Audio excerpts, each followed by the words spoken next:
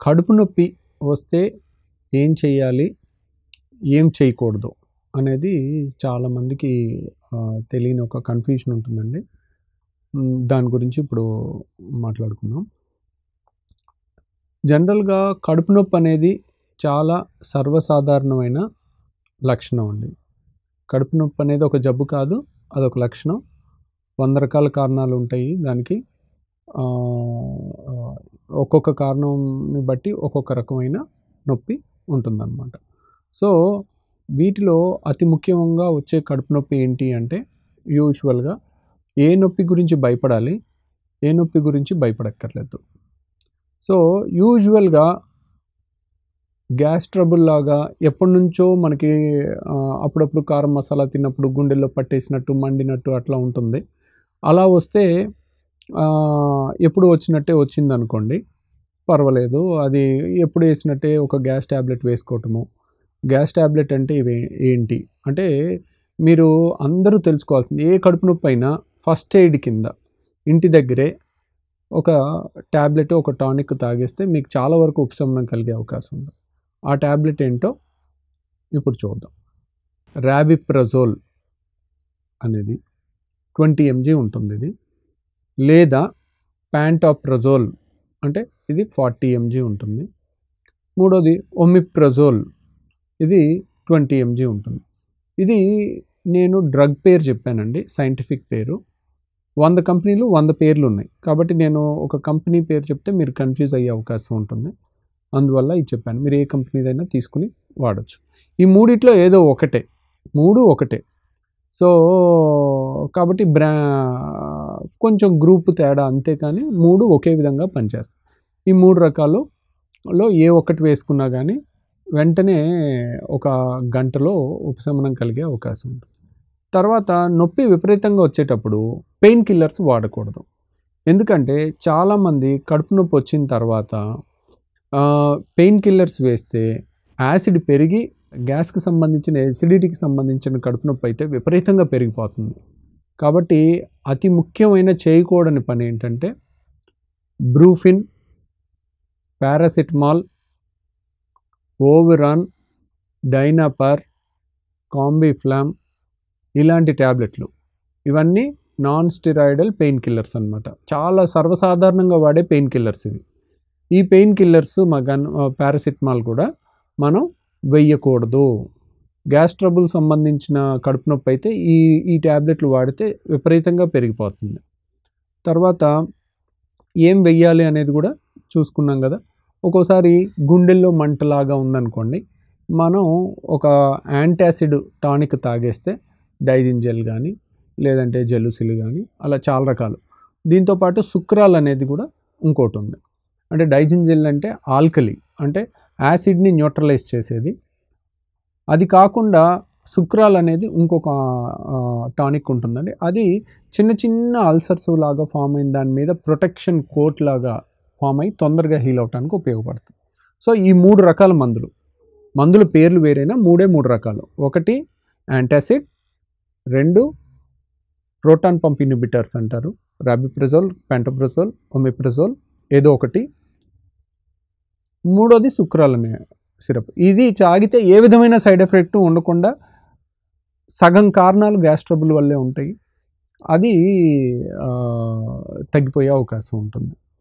So అరే gas trouble వల్ల acidity వల్ల ఇంత భయంకరమైన కడుపు నొప్పి రావచ్చా అనేది నాకు చాలాసార్లు సొంతంగా ఎక్స్పీరియన్స్ అయ్యే వరకు కూడా తెలియలేదండి.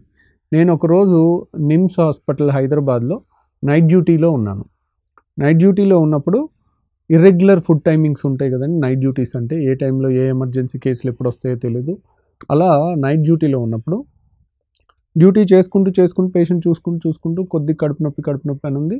అలా ఒక అరగంటలో విపరీతంగా పెరిగిపోయి అసలు తట్టుకోలేనంత విలవిల్లాడిపోయి కళ్ళనీళ్ళు వచ్చేసి సింపుల్ ఎసిడిటీకి యాసిడ్ పెరిగి ఇర్రెగ్యులర్ టైమింగ్స్ అయ్యి ఉండి ఒత్తిడి ఎక్కువ ఉన్న టైంలో అట్లా. సో అప్పుడు నాకు అరే ఇంత భయంకరమైన నొప్పి ఉంటుందా మనం రోజు చూసే పేషెంట్స్కి అని ఆ దాని విలువ అంటే వాళ్ళ బాధ ఒక్కోసారి మనకు వస్తే కానీ ఒక్కోసారి అర్థం కాదండి. ఆ సింపుల్ సొల్యూషన్తో చాలా వరకు అంటే మీరు ఇంటి దగ్గర ఈ ట్యాబ్లెట్ వేసుకుని వచ్చేసి అయినా కానీ తగ్గని వాళ్ళకి రెండు ఇంజెక్షన్స్ చాలా అద్భుతంగా పనిచేస్తాయండి. ఒకటి ఐవి ఇంజెక్షన్స్ ప్యాంటోప్రజోల్ ఒకటి. ఇంకొకటి ఏంటంటే వాళ్ళకి ఇది డాక్టర్ పర్యవేక్షణలోనే చేసుకోవాలి. మీరు ఇంటి దగ్గర చేసుకోకూడదు. బుస్కోపాన్ అనేది ఇంకో ఇంజెక్షన్ ఉంది. అది కూడా చాలా బాగా పనిచేస్తుందండి. ఇక ఆ తర్వాత నెక్స్ట్ లెవెల్ ఇంకో ఇంజెక్షన్స్ ఉంటాయి. అవి తగ్గించడానికి ఇంకా ఆ లెవెల్ వరకు మీరు వెళ్ళొచ్చు కానీ ఇంకా ఆ లెవెల్ దాటి ఇంటి దగ్గర చేయటం కరెక్ట్ కాదనమాట.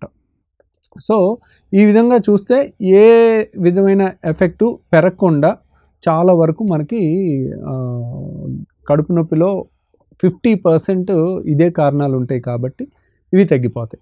ఆ తర్వాత అసలు ఎక్కడ పెయిన్ ఎందుకు పెయిన్ అక్కడ ఏముంది? ఒకవేళ హెర్నియా ఏమన్నా ఉండి దానివల్ల ఏమన్నా బొడిపెలాగా ఉబ్బులాగా వచ్చి దానివల్ల నొప్పి అయితే దానికి మనం ట్రీట్మెంట్ చేసుకోవాలి. ఒక్కోసారి లాయిన్ టు గ్రాయిన్ అంటారు. అంటే ఈ వెనక భాగం నుంచి ముందు భాగం వరకు రేడియేటింగ్ పెయిన్ ఉంటుంది. ఈ నొప్పి కిడ్నీ పెయిన్ అనమాట కిడ్నీలో రాయి ఉంటే మనకి ఆ విధంగా వస్తుంది. కిడ్నీలో రాయి ఉన్న వాళ్ళకి ఏ కడుపు నొప్పి ఉన్న వాళ్ళకైనా ఈ వెనక భాగం నుంచి ఇలా ముందుకు వస్తుందండి అని అంటే కనుక యూరిన్ మంట కలిసి ఉందంటే కనుక అది మనం పేషెంట్కి స్కానింగ్ చేయకుండానే వీళ్ళకి కిడ్నీలో స్టోన్ ఉందని చెప్పేయచ్చు. సో కొంతమంది అంత క్లియర్గా చెప్తారు. డాక్టర్ గారు ఇక్కడ నుంచి ఇక్కడికి వస్తుందండి యూరిన్లో మంట ఉందని చెప్తారు. మనం స్కానింగ్ చేసి చూడగానే స్టోన్ కనపడుతుంది అనమాట ఇంకో రకం పెయిన్ ఏంటంటేనండి ఇప్పుడు కిడ్నీ పెయిన్ అంటే ఎడం పక్క అయితే ఎడం పక్క కుడి పక్క అయితే కుడి పక్క ఉంటుంది. అదే పసర సంచిలో రాయి ఉంటే కనుక దానివల్ల వచ్చే పెయిన్ ఉంటుంది. పసర సంచిలో రాయి పెయిన్ యూజువల్గా కుడిపక్క భాగంలో కానీ పై భాగం బొడ్డు పై భాగంలో కుడిపక్క కానీ మధ్యలో కానీ ఉంటుందన్నమాట. యూజువల్గా కొంతమందికి పసర రాళ్ళు ఇరుక్కుంటే కనుక పచ్చకామెరలు కూడా వచ్చే అవకాశం ఉంటుందన్నమాట. అంటే కొంచెం లేట్ స్టేజెస్లో ఎర్లీ స్టేజెస్లో రాదు. ఇది కూడా పెద్ద భయపడే నొప్పులేం కావు. తర్వాత ఫస్ట్ ఎయిడ్ అయిపోయింది. మెయిన్ ఇంజెక్షన్స్ ట్యాబ్లెట్స్ తీసేసుకున్నాము. ఇంకా కారణం ఏంటి అనేది తెలియలేదు నొప్పి తగ్గట్లేదు అనుకోండి. దెన్ వరుస పెట్టి మిగిలిన టెస్ట్లన్నీ చేసుకోవాలి. టెస్ట్లో అతి ముఖ్యమైన టెస్ట్ ఏంటంటే పల్సు బీపీ అన్నీ బాగా నార్మల్గా ఉంటే వరి అవ్వక్కర్లేదండి. కానీ ఎప్పుడైనా ఒక డేంజర్ సిగ్నల్ కడుపు నొప్పిలో ఒక డేంజర్ సిగ్నల్ ఏంటి అని అన్నారంటే పల్స్ రేటు వన్ టెన్ దాటితే. అంటే పల్స్ రేట్ అనే దానికి అసలు మీరు పల్స్ ఆక్సీ ప్రోబ్ అవసరం లేదు ఏం అవసరం లేదు. ప్రతి ఒక్కళ్ళు కూడా అసలు నన్ను అడిగితే టెన్త్ క్లాస్ పాస్ అవ్వాలంటే వాళ్ళు పల్స్ రేటు చూసి కరెక్ట్గా కౌంట్ చేసిన వాళ్ళనే పాస్ అవ్వాలి అని రూల్ పెట్టాలి. ఎందుకంటే అంత ముఖ్యమైనది మనం పల్స్ పట్టుకుంటే నీట్గా తెలుస్తుంది. మన కళ్ళు మూసుకుని గడియారం చూసుకుని ఒక్క నిమిషం ఎన్నిసార్లు కొట్టుకుంటుందో లెక్క చేసుకుంటే ఈజీగా పల్స్ రేట్ తెలుస్తుంది. ఎందుకంటే ఏదన్నా రాబోయే ఉపద్రవంని ఫస్ట్ తెలిపేది మన బాడీలో పల్స్ రేట్. ఏ విధమైన గ్యాడ్జెట్స్ ఏ విధమైన సాధనాలు ఏ విధమైన పనిముట్లు లేకుండా మీ ఇంట్లో ఉన్న పిల్లలే టెన్త్ క్లాస్ చదివిన పిల్లలన్నా నన్న ప పల్స్ చూడరా ఎంతో నేర్చుకోరా అంటే యాక్చువల్గా అయితే స్కూల్లో కరికరంలో ఇది నేర్పించాలండి. అది చాలా సొసైటీకి చాలా చాలా చాలా మంచి చేసింది అవుతుంది. మన సిలబస్ అంతా యాభై ఏళ్ళ కింద సిలబసే ఉంది. ఇలాంటి చిన్న చిన్నవి చేరిస్తే సొసైటీకి చాలా ఉపయోగపడే అవకాశం ఉంటుంది.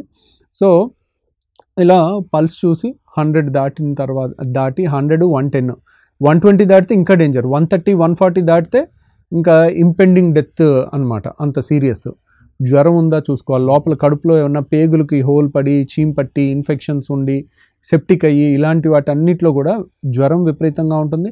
Pulse rate one ten one twenty one thirty one forty కూడా దాటిపోతుంది. ఎంత ఎక్కువ దాటితే అంత ప్రాణహాని ఎక్కువగా ఉన్నట్టు అనమాట సో పల్స్ రేట్కి అంత విలువ ఉంటుంది. సో పల్స్ రేట్ చూసుకుని ఉంటే కనుక వెంటనే సిటీ స్కాను ఎక్స్రే ఎక్స్రే తర్వాత స్కానింగ్ అల్ట్రాసౌండ్ స్కాన్ అన్నీ చేసేసుకుంటే మనకి చాలా వరకు అవగాహన వచ్చేస్తుంది. కొంతమందికి పేగుల్లో అల్సర్స్ ఫామ్ అయ్యి అల్సర్ పగిలిపోయి చీంపట్టేసి పొట్టంతా సెప్టిక్ అయిపోయి వస్తారు. వాళ్ళు వెంటనే ఆపరేషన్ చేయకపోతే ఇరవై నాలుగు గంటల ప్రాణహాని కూడా ఉండే అవకాశం. అది డాక్టర్ ఎగ్జామిన్ చేస్తే వెంటనే తెలిసిపోతుందండి. అట్లా దాన్ని కూడా మనం చూసుకోవచ్చు. సో ఏం చెయ్యాలి? ఏ లెవెల్లో మనం ఇంటి దగ్గర ట్రీట్మెంట్ తీసుకోవచ్చు. ఏ లెవెల్లో మనం వెంటనే డాక్టర్ని సంప్రదించాలి ఏం చేయాలి ఏం చేయకూడదు అనేది గుర్తుపెట్టుకోండి.